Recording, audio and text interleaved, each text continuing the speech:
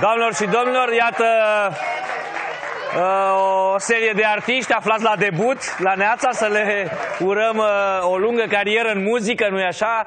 Uh, așa facem noi, uh, debutăm la Neața cu tot felul de voci, tot felul de instrumentiști. Ovidiu Lipan, Țăndărică, ia un loc. Mircea, hai aici.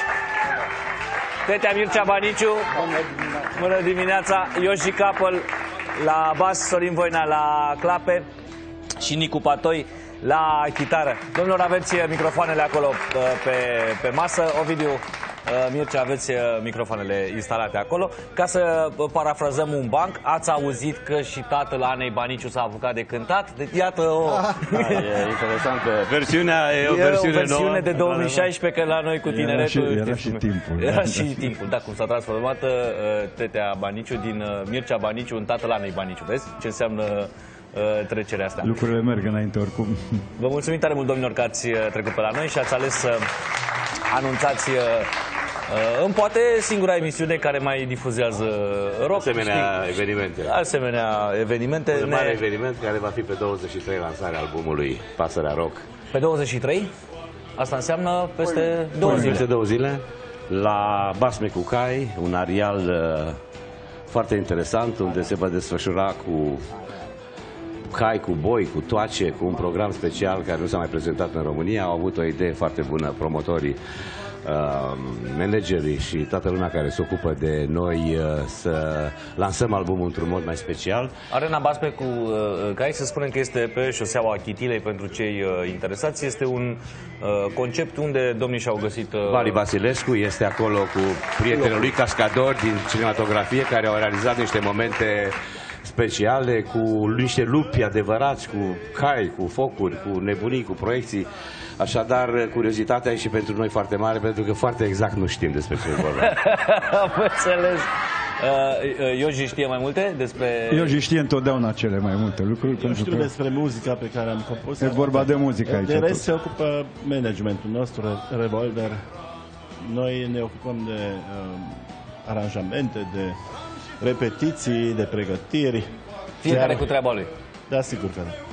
De creșterea copiilor uh, și uh, în același timp uh, de atmosfera pe care uh, Sigur că Uh, pentru voi e senzațional, pentru poate formația primim și noi o intrare Timișoara, uh, oraș uh, cultural european, Capitală uh, culturală europeană capitală în culturală 2021, europeană, așadar Mircea noi Baniciu ne cu bucurăm Ioși pentru care... timișoreni, pentru Și că pentru voi. Chiar dacă sunteți din Reșița, e tot acolo. Tot acolo e uh, parte din inima noastră. Uh, s-au supărat uh, bucureștenii cei uh, drept că noi am fost uh, împreună când s-a primit vestea. Se pare că în Timișoara e închis uh, timp de o lună să se folosească. Ce și că și Iași ar fi, Așa se avut, zice ar, fi la avut, noi. ar fi avut șanse mari, dar m-am gândit că drumul până la Iași de la Viena ar fi fost mult mai greu și uh, ar fi reprezentat mult mai puternic România. Așadar, imi- intri direct în țară, acolo ești uh, aranjat. Da, nu e- uh, citeam pe, pe net că pe cale de consecință logică, cel puțin dacă uh, Sibiu a fost capitală europeană și acum uh, au treabă cu Bucureștiul, în ritmul ăsta Nicolae Robu va ajunge președintele Tocmai României. asta vrem, să, vrem, vrem să-l salutăm, asta a fost ideea, nu știu dacă Da. realizez că, sigur că da, dorim să cântăm și noi în Timișoara, chiar dacă suntem în diferite loca- localități adiacente. Vreau să vorbesc de Pasărea Rock, Ioji a fost un, uh, un într-adevăr, un uh, capricorn care a muncit uh, non-stop și care a tras nebunia asta, a compus foarte multe piese, aproape tot albumul, sigur că și Mircea, e vocea Mircea, fără Mircea nu se poate, iar eu care, uh, așa, sunt o pasăre, de fapt, de acolo a venit ideea că rock e mai mult, uh, văd de acolo, generația mai tânără care pare să că sunt cu doi ani mai mici decât noi. Exact, e vorba de Nicu Patoi la gitară și Sorin Voinea la clape. Doi instrumentiști de mare valoare a rockului românesc. Singurul, Bucurăm să uh, fim alături de, de dânsii.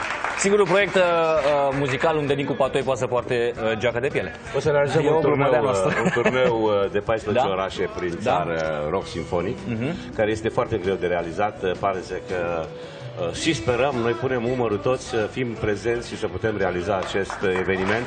Este foarte greu, un moment dificil de a, de a intra, a face concerte pe bilete, la, în sensul ăsta. Da. Și uite că pare să că prin ajutorul uh, agenției noastre de management uh, Revolver, care se ocupă foarte puternic de evenimentul ăsta. Toată lumea trage la căruță să, să, să ieșim cumva și să realizăm, să prezentăm publicului o muzică pe care o au în genă, de fapt, și uh, trebuia să renască din nou. Mulțumim uh, tare mult, uh, pasărea rock, uh, Ovidiu Lipan Țăndărică, Mircea Baniciu, Ioji Capăl, Sorin Voinea la clape și Nicu Patoi la chitară. Pe 23, nu mâine, ci poi mâine la Arena Basme Cucai e pe șoseaua Chitilei foarte aproape de unde emitem noi. Găsiți un concept interesant unde se lansează și albumul atât de așteptat de rocker. Înțeleg că nu există vârstă și am văzut din publicul spectator la concertele domnilor lor că nu există vârstă în rock. Poftim? Sperăm ca timpul să fie, să fie cu noi, deci vremea să ne ajute. Ai venit unde trebuie, aici oferim și servicii de vrăjitorie. Salutăm pe toți care Salutăm pe toți aceia care îndrăgesc muzica Pasărea Rock și da. care, mulți dintre ei, deja știu și textele la melodii mm-hmm. foarte noi, de 2 ani, au început să fie din când în când uh, cântate, între ghilimele, dar se pare că online-ul și internetul și uh, are funcționalitatea foarte prezent da. și sunt foarte mulți, uh, avem, chiar pot să spun că se repetă un, un sindrom care l-a avut și Phoenix, generației și tineri care deja mm-hmm. cântau textele la piesele astea noi, una dintre ele care a ascultat-o astăzi, Fagu și Edera. Mulțumim uh, tare mult, găsiți și pe internet. Pasărea uh, Rock este pagina de Facebook, acolo prindeți mai multe uh, detalii și despre evenimentul de peste două zile și în general despre aparițiile formației prin România. Luăm o scurtă pauză, ne întoarcem la neață, avem discuții despre sănătate, avem rubrică horoscop și în general prostioare de prin copilăriile noastre. Pauză, ne întoarcem.